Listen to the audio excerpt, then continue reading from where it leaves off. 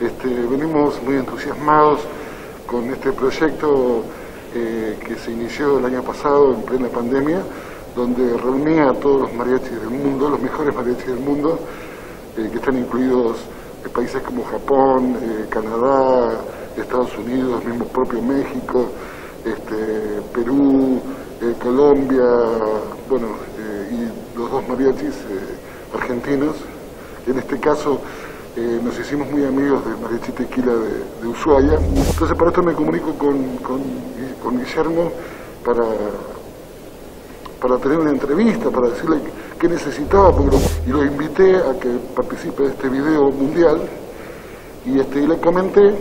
que íbamos a hacer este, un encuentro internacional del mariachi fuera de México. Yo fui 16 veces a México representando al país en el año 2000 el presidente Fox y la doctora Rosario Robles, por ser el primer mariachi, eh, mariachi argentino por pisar tierra mexicana, me nombran embajador cultural de la música mexicana en mi país.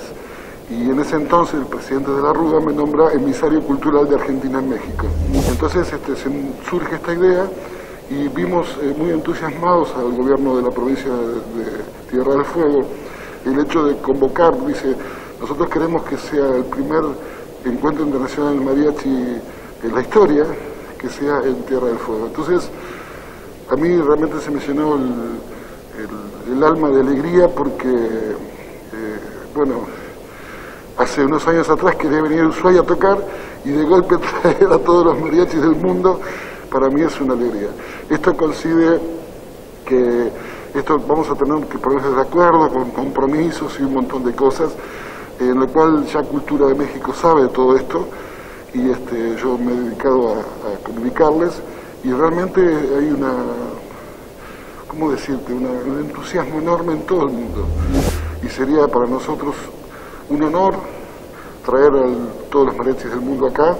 y hacer este, bueno, festivales y fiestas y, bueno, eh, se llaman encierros de mariachis, es donde nuclea, muchos mariachis nuclean a mucha cantidad de gente, distintos lugares, hermosa la ciudad para hacer distintos eventos para a la gente mayor, a los niños, eh, geriátricos, eh, espectáculos a gente masiva. Eh, ¿Van a tener reunión con la gente del gobierno de la provincia para planificar el evento?